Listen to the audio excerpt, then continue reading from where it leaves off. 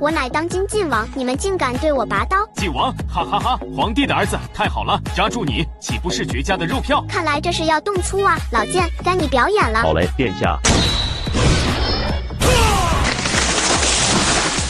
抱歉，抱歉，殿下手生了。所有人扔掉武器，举手投降，本殿下还可饶你们一条生路。小的们别怕，他们就两个人，只要我们齐心协力，他们未必能杀光我们所有人。我们最多就弄死七二八百人，没什么好慌的。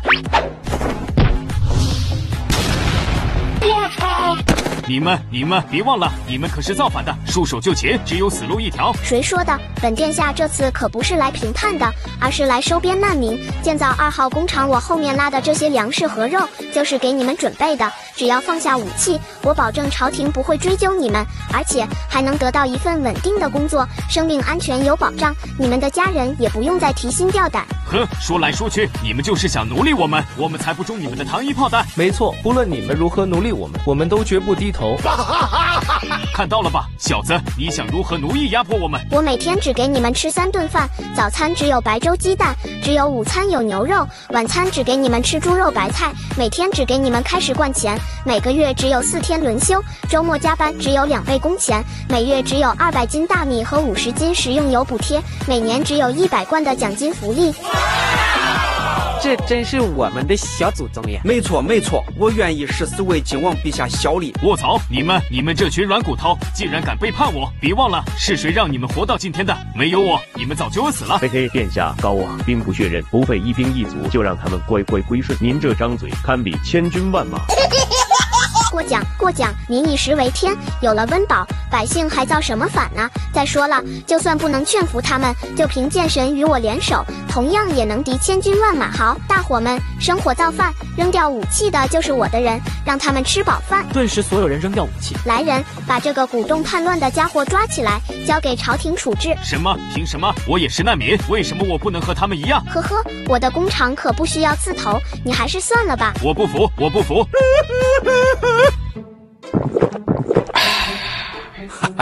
自从智奴那个逆子出去了，我就感觉一身轻松啊，血压也稳定了，情绪也平静了，仿佛达到了上善若水的境界。陛下，智奴可是你儿，哪有老子这么说自己儿子的？而且智奴前去评判，就带这么点人，你就不担心他？担心个头，他本事大着呢。哎，皇后，这小子哪里是我儿，根本就是我头上的太岁爷。我敢揍钱儿太儿，我敢揍他吗？不说了，我得享受一下这难得的岁月静好。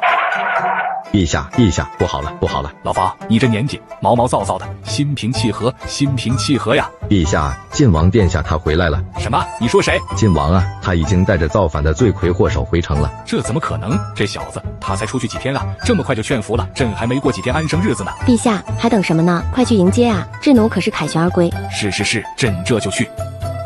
半个小时后，李二和皇后亲自迎接。哈哈哈，干得好，智奴！想不到你效率这么快，朕甚是欣慰。父皇、母后，儿臣打算在京城外弄块荒地，修建一个新工厂和宿舍，让这些灾民有个归宿。好，朕答应你。不就是一块荒地，你随便挑。真的吗？嘿嘿，父皇，您挑选的那块皇陵挺不错的。哼，臭小子，滚！第二天，二毛正在泡澡，李二就来了。老李，怎么一大早就来了？智奴，你之前弄的三艘巨舟已经全部竣工，你准备什么时候出海呀？出海还未时尚早，大唐如今还没有真正的水手，不经过训练，贸然出海很有可能会有生命危险。这个简单，朕即刻命人挑选年轻力壮的小伙子，交给你随便训练。父皇，你如此着急出海做什么？你又坐不了船。哈哈。当然是因为你说的，海上岛国遍地都是黄金。要是我大唐得到那些黄金，以后还怕什么国库空虚啊？想干嘛就干嘛，想干嘛就干嘛。老李，你该不会是想弄个技房馆，养一群扬州瘦马吧？呸呸呸！朕堂堂皇帝，后宫三千，对美色早已不感兴趣。呵呵，口是心非。工部工人们正在捣鼓着蒸汽自行车。嘿嘿，智奴，朕可看见你给长乐和钱儿都弄了台这玩意。朕堂堂皇帝都没有这拉风的坐骑，你这是不是该给我弄一台？没时间，这不是有现成的吗？这台我准备改造成三轮车，给楚墨拉货。那你也顺便给朕弄辆啊？父皇，你想要可以五十两。臭小子，居然跟我要钱，不就是五十两吗？给。嘿嘿，我说的是黄金。我操！臭小子，这是趁火打劫。不然你以为我在干嘛？楚墨得到蒸汽三轮车后，喜滋滋，哈哈哈！多谢小殿下，想不到我竟然也能有一辆能自己行走的拉风坐骑。行了行了，赶紧干活去！我倒要看看程福墨这小子究竟拉什么货，竟然还要用到蒸汽三轮车。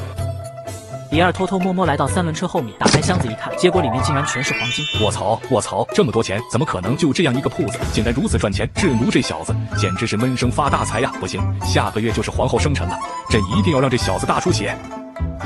第二天，二毛正骑着蒸汽自行车进宫。老李，你作死啊！突然窜出来。朕乃是你父皇，有事找你商量，难道还不行吗？行行行，你是皇帝，你最大，什么事快说吧，我还得去找长乐姐姐玩呢。日奴，你可知道七天后是什么日子？七天后不正是母后的生辰吗？老李神神秘秘的，究竟想做什么？哦。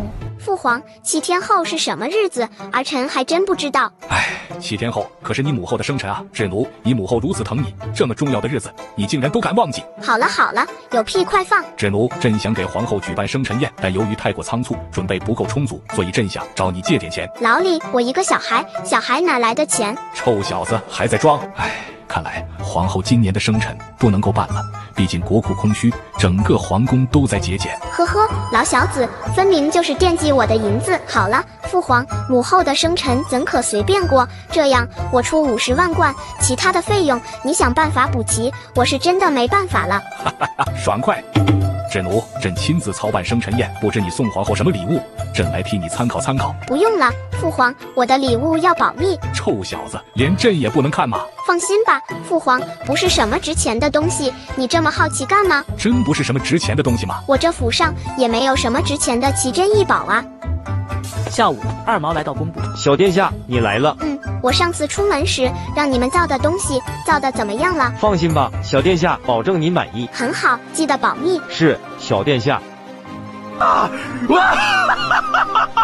陛下，你哪来的这么多钱？这得有几十万贯了吧？就算把你的私库搬空，也没这么多呀。嘿嘿。观音币这些钱可是朕好不容易才从智奴那小子身上搜刮的，能从这小子身上弄到银子，朕感觉终于扬眉吐气了。你是怎么从智奴那个小守财奴哪弄到钱的？朕以你过生辰的借口哄来的，足足五十万贯，十万贯半个生辰就足够了，剩下的全部冲入朕的私库。哎，陛下，你恐怕还不知道，智奴办分厂一天就花了五十万贯钱。